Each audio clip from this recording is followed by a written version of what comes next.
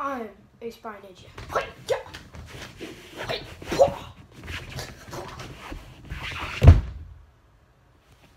We are the spy ninjas.